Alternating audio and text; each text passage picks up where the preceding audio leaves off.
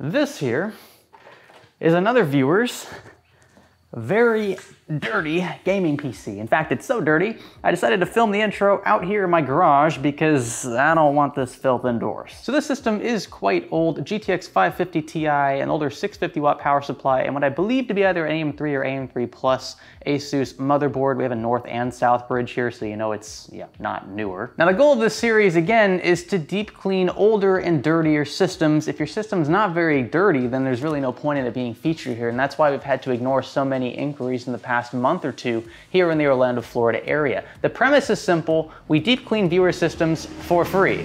One of the side effects of filming outdoors is that you have very loud things happening outside. So I apologize for that. Neighbors mowing his lawn, just how it is.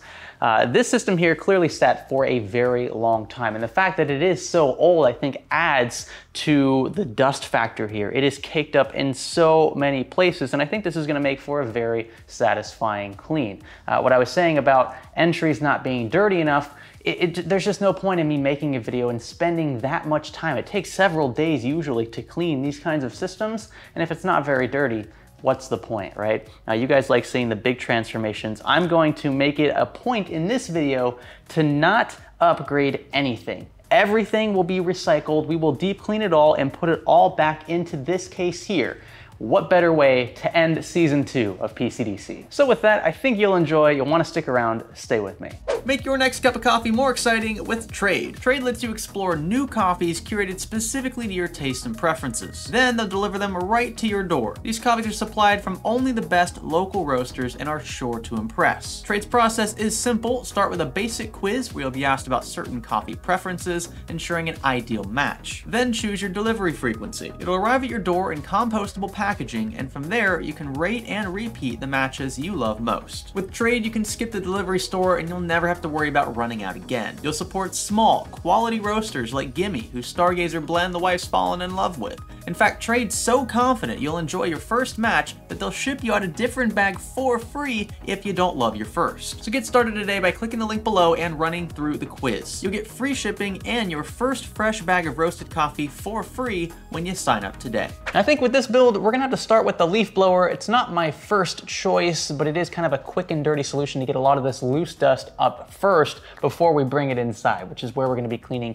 a majority of the individual components in here. Uh, the case we will will hose down with water because water's a lot um, more abrasive than just air alone. Even using an air compressor probably won't get a lot of this dust and grime out of here. So we're gonna use water for that. And then all the individual components we're gonna bring inside and deep clean those. We're gonna tear them down as far as they will go.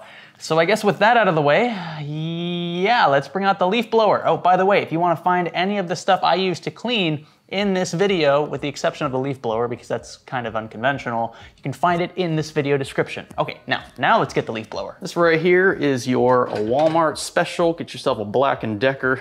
it's, it's actually a pretty weak leaf blower, but it gets the job done, at least where I live. 20 volt, uses battery, so you don't need to plug it in or throw gas into the thing. But uh, yeah, I like using this to clean my PCs. Right, so here we go.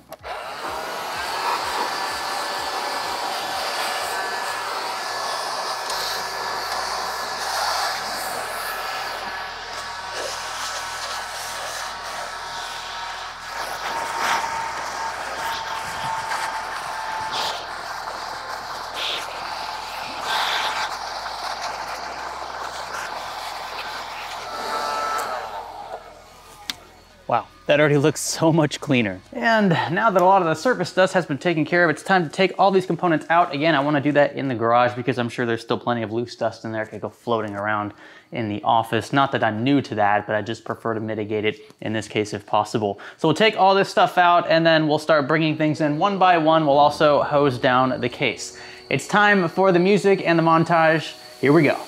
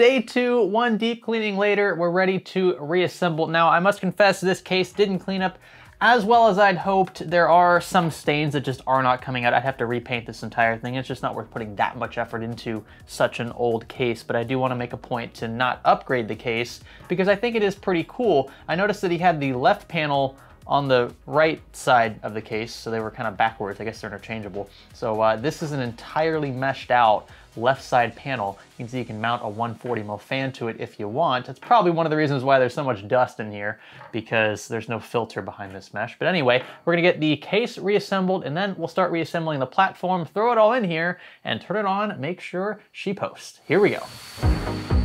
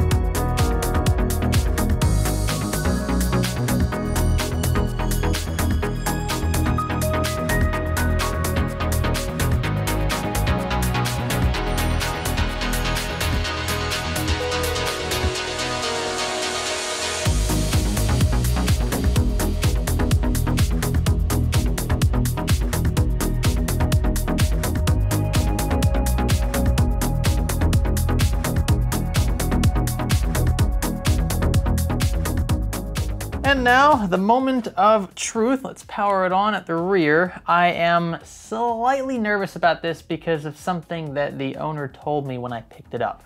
I'll talk more about that in a second if the problem persists. We'll see. But I, I think I actually found what was wrong with it while I was rebuilding it. And I'll tell you about that in a second. So yeah, all right, we've got a post that was super fast. And uh, great. Everything looks really good. I don't know if there's an operating system on this hard disk drive. Yep, looks like there is. Okay, cool. So what the viewer told me was that whenever he tried to turn the system on, you would get like a purple screen. And that might end up showing up here. I'm not sure how long it took for him to notice that. It might have been right away. Uh, but I noticed when I was reassembling the system that the case didn't have any standoffs.